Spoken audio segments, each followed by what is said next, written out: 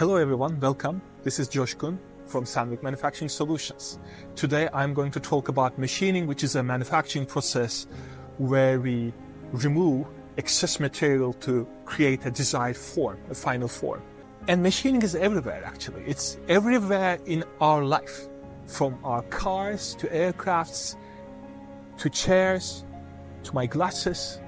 It is involved at some point in time in production process of this, like glasses, for example, or a, a can, the die that is used to make this can machined. There are some fundamental techniques in machining, and I'll talk about few of them, some major ones.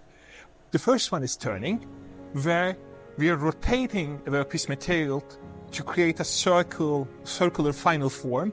We rotate the workpiece at high speed, then we move a, something we call cutting tool, which is extremely hard material that can cut metal basically. So it withstands that metal's force. And the second one is milling and drilling, where we rotate this time not workpiece but the tool itself at high speeds and move around a workpiece block to remove excess material to create the final shape we want. What kind of precision we can get with machining? Today, technology is so advanced, we can create, create final shapes with the precision of one tenth of our hair thickness. Extremely precision stuff. Imagine these telescopes, their mirrors. These are extremely precise. James Webb telescope, for example extremely precise. We can get to that level.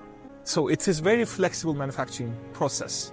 I guess this is all that I want to mention in general about machining and why it is important, why it makes sense, why it is important for our lives. Thank you for listening. And uh, next time, probably we will talk about some other topics around machining.